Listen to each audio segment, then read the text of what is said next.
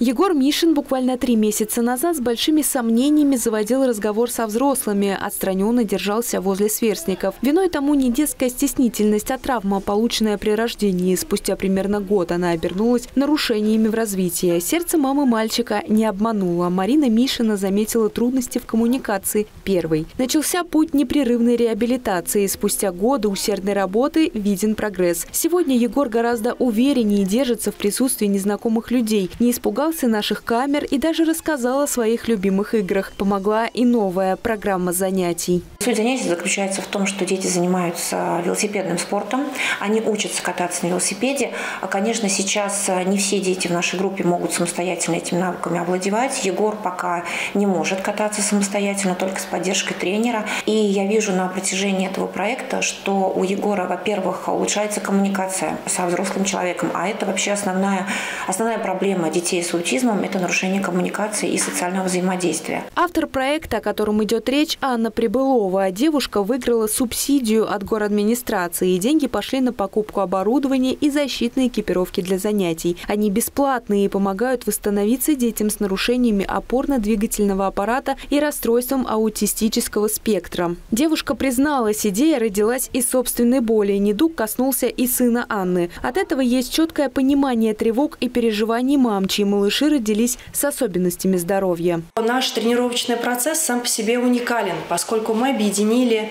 и реабилитационную часть, и непосредственную езду на велосипеде.